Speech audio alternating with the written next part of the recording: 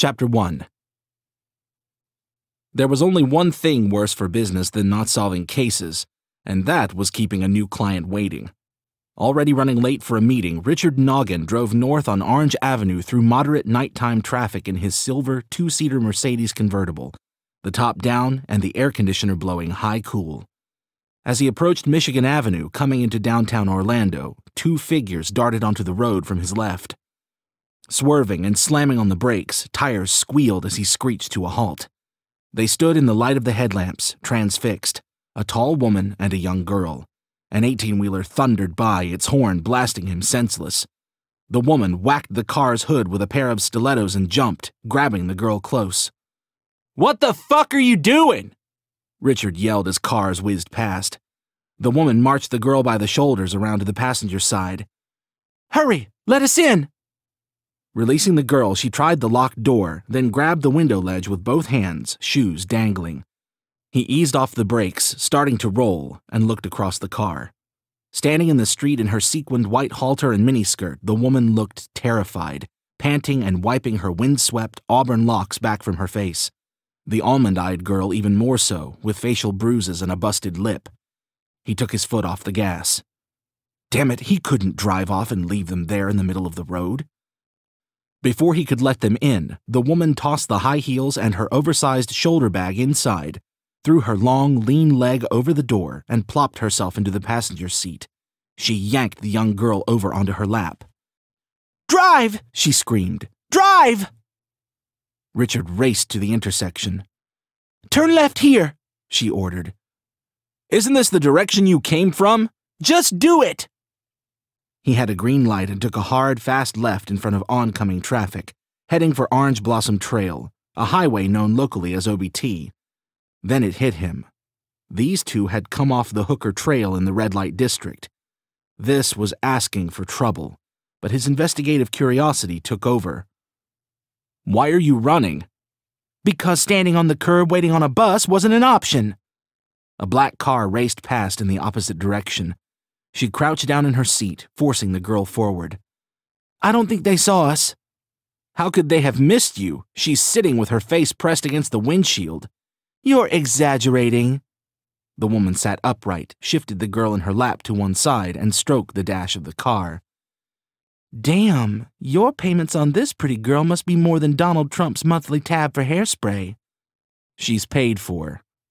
He rolled his eyes and shot her a quick look. Who are you hiding from? Men with guns? Damn, I hate guns. What men?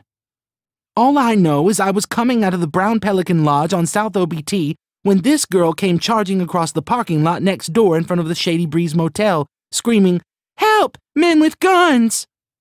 I looked at her and her bloodied lip and hearing guns, figured we ought to run. I snatched off my shoes and did just that.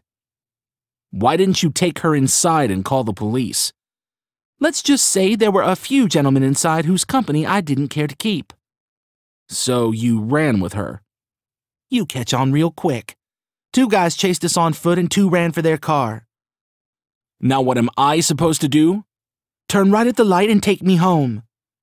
You live on the trail? He asked, only half joking. He slowed for traffic at the intersection. Her scent caught him. The voice was mellow and raspy, like a smoker, but her fragrance was cinnamon and oranges, her skin the color of fine cafe latte. Arms wrapped around the young girl made her cleavage deepen. She turned to him with emerald eyes sparkling. I'm staying at the Parliament House. The gay club? Resort.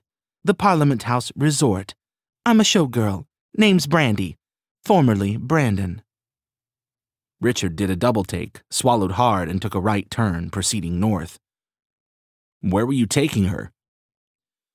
The 24 hour pharmacy on Michigan to get something for her lip and let them figure out what to do with her. I don't know. What would you do? I'd probably call the police. He sped up and passed a few cars ahead. I'm sure those guys with the guns would have waited for us to do that. Her sarcasm as strong as her perfume. I used to be a cop, and I know they're not going to do a damn thing for her. As far as they're concerned, she's just another poor girl walking the streets. Somehow you don't strike me as a cop. It was a brief stint. He ran through the caution light at Kaley Avenue. Call the police and have them meet us at the Parliament House. I have an important dinner appointment in Winter Park and I'm already late. And I have a show to do tonight, Randy fired back. Well, I can't keep her. He glanced at the silent girl. What's your name? Karaku. Where do you live? I not know much English. Karaku scared. Richard gave Brandy a hard look.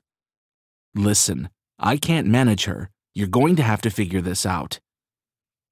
He reached into the pocket of his sport coat.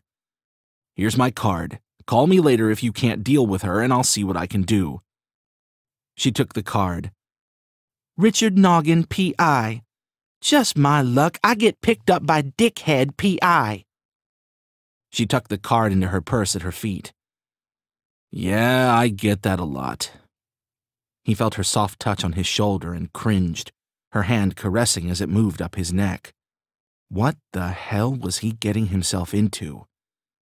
She nudged him and smiled. Has anyone ever told you that you have the most striking crystal blue eyes?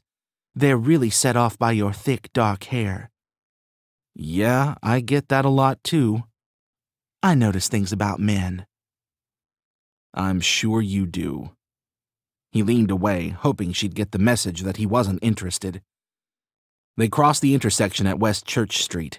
A black Nissan pulled out behind them. Brandy jerked back her hand and ducked, pulling Kara down with her. Holy shit, it's them! Hold on. He took a fast right onto West Central and another onto Parramore. The Nissan followed. He sped through the stop sign at Jackson and turned left into oncoming traffic on South Street, a busy, three lane, one way road.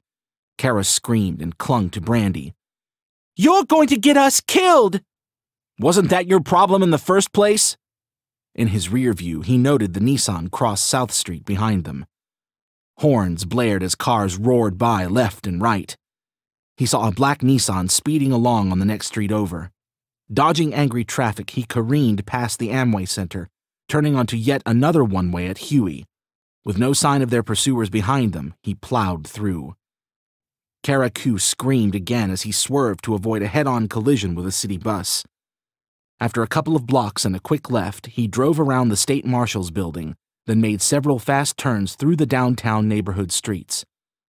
With tussled passengers shrieking, he'd made a complete albeit dangerous, wide circle. Relieved when they reached Orange Blossom Trail in front of the Parliament House, he parked on the corner. Get out. Brandy looked at him in disgust. You can't just leave us here. You need to get out and run. I don't know how long we've got before these guys are back on our tail. Okay, we're out of here. She opened the door, pushed Kara from her lap, grabbed her shoes and bag, then jumped from the vehicle and slammed the door. Thanks for the ride, dude. Richard watched as they crossed the busy highway. RuPaul's Raja, Heaven Sent, gleamed on the billboard. Beneath all the neon multicolor, Brandy dazzled, looking like she was right where she belonged. He sped away north up the trail and east onto Colonial through Little Saigon, then headed north on Mills Avenue with no sign of the black Nissan all the way to Winter Park.